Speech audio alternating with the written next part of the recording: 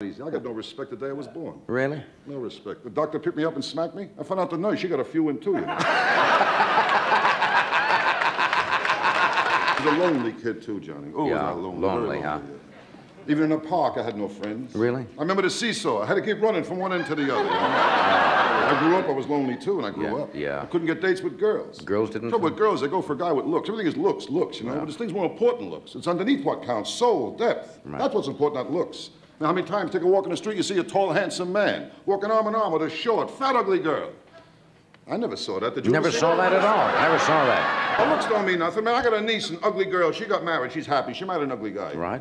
And today they got two very ugly kids. Ugly kids, yes. In fact, they're all so ugly in a family album. They only keep the negatives. The- I'll tell you what's more important than looks is love. You gotta have love. Love is and I important. got plenty of love in me, Johnny. That's plenty of I love thing. a lot of things. Love. I love sports, I love music, and one of my kids.